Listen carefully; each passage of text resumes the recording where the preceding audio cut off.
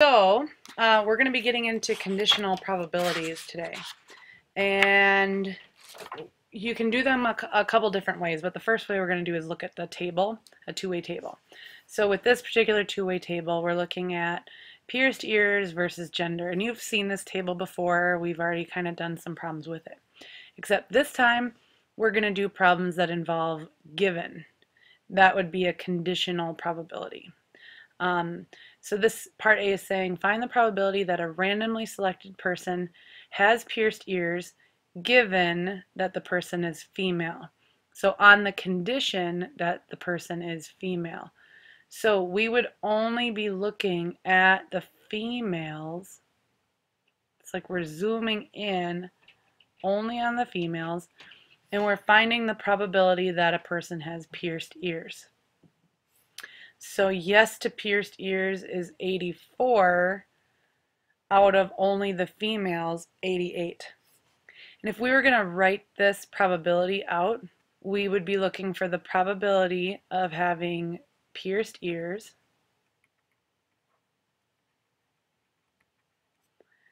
given that the person is female.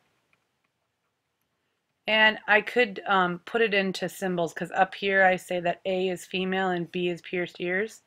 So this case would be the probability of B given A and we said there's 84 with pierced ears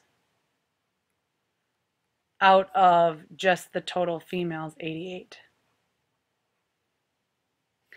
and then over here we're finding the probability that a randomly selected person is male given they have pierced ears so on the condition that they have pierced ears we only want people that have pierced ears and we're looking for the probability that the person is male given pierced ears.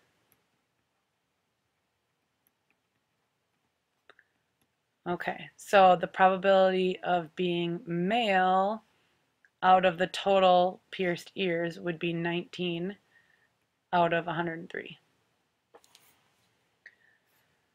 Moving on. So, Again, this is that notation for conditional probability. Probability of A given that B has already occurred. So here's another kind of example of that. If we roll a dice, what's the probability that we roll a 3? Well, our sample space when we roll a dice is that we could get a 1, 2, 3, 4, or 5. Or 6. One, two, three, four, five, or six.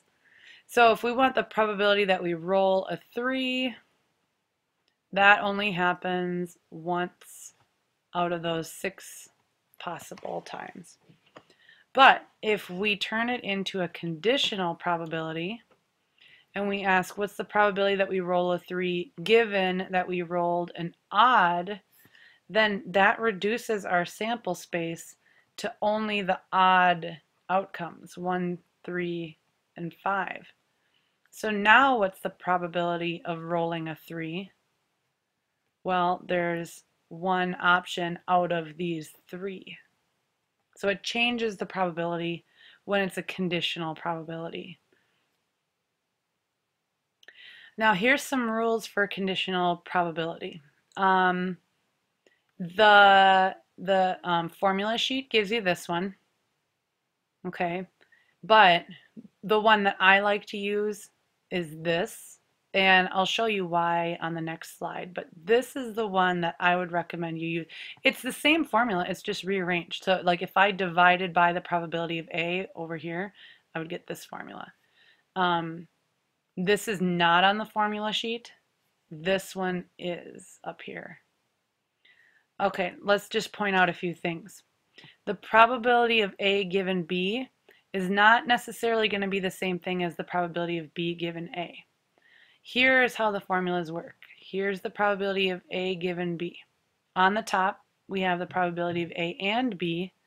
On the bottom, probability of B. This is the opposite, probability of B given A. The top's the same, probability of A and B, but look at what's on the bottom now. So here's what you need to know. That whatever you're given, that's the probability that goes on the bottom. Over here, we're given A, that's the probability that goes on the bottom. And is always what's on top. Okay, so just take a second to kind of digest that. The probability of A and B is always on the top, but whatever you're given is the probability that goes on the bottom.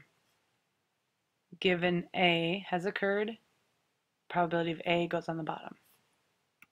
So now we're just going to do a couple examples using that those formulas. Okay, so in an apartment complex, 40% of the residents read USA Today, 25% read New York Times, and 5% read both. Suppose we select a resident of the apartment complex at random. What's the probability that a resident reads the USA Today or the New York Times? Okay, we have formulas for or. We learned those days ago. So if I want the probability of USA Today or New York Times, I have a formula. And we need to decide, do these have an overlap? Can someone read both USA Today and New York Times? And the answer is yes, there's an overlap. So when it's an OR problem, you add up the probabilities, so the probability of USA Today plus the probability of New York Times. But when there's an overlap, you have to subtract off the probability of USA Today and New York Times. If there's no overlap, then you're just basically subtracting zero. So it's just, you're just adding the two probabilities up. But when there is an overlap, you do need to subtract it. So the probability of reading USA Today is 0.40. The probability of reading New York Times is 0.25. And we're going to subtract off the 5%, 0.05. And we end up with 0.60. Okay, that's a review. The next problem is what's the probability that the resident read the New York Times given they read USA Today? Or what's the probability that the residents read the New York Times given that they read USA Today? Okay, so New York Times, oops.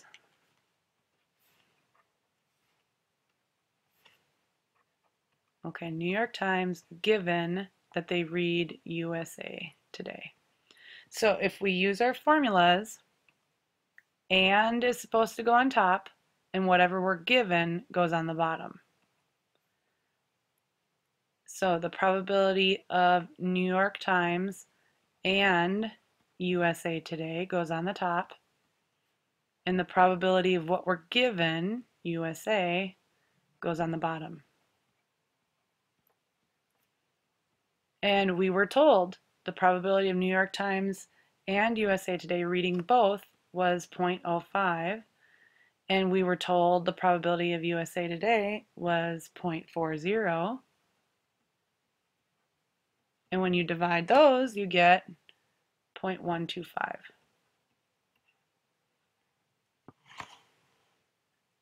Okay, moving on. Independence is kind of a big deal. We need to be able to tell when two events are independent. And the definition is up here. It says two events are independent if knowing that one occurs does not change the probability that the other occurs. So if one happens, it has no effect on the other one happening. So here's an example of two events that are independent. Rolling a 5 on the first die and rolling a 3 on the second die.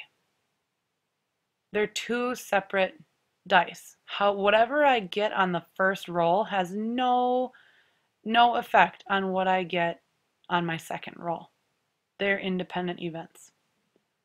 Knowing that the first die is a 5 does not change the probability that the second die is a 3.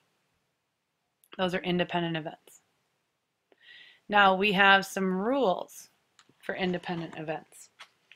So you can use these rules to verify that two things are independent or if you know they're independent, then you can use the rules. So the first rule says if we have the probability of A given B, then that will end up equaling just the probability of A if these events are independent. Essentially what that's saying is it doesn't matter what B did, it has no effect on the probability of A. So B happening doesn't matter. It has no effect on what the probability of A is.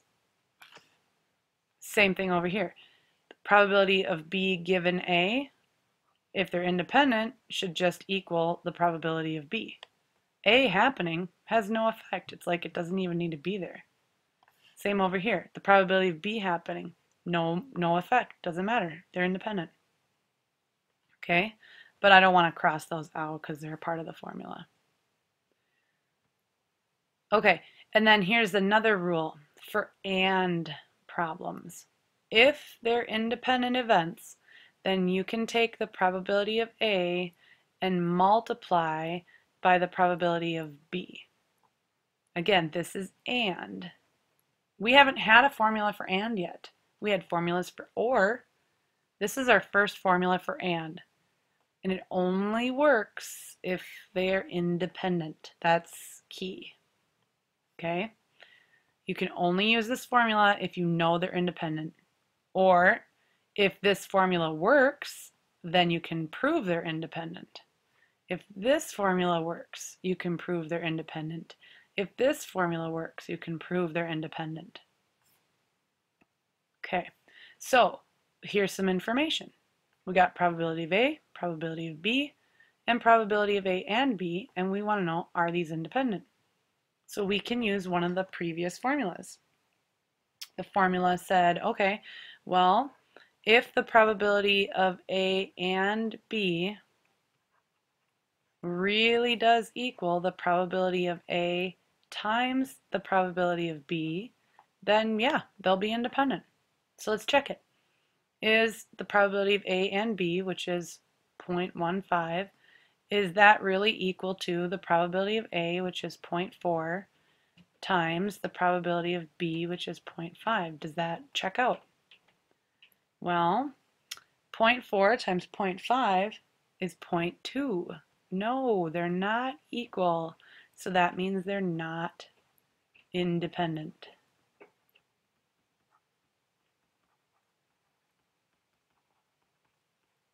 Because the formula didn't work. Okay? Now, this video, I can only record in 15 minute chunks. So I'm going to need to record a second video. So start watching that now and we'll pick up where we left off, okay? Do watch the second video because there's more stuff on there that you need for the homework. Okay? Thank you.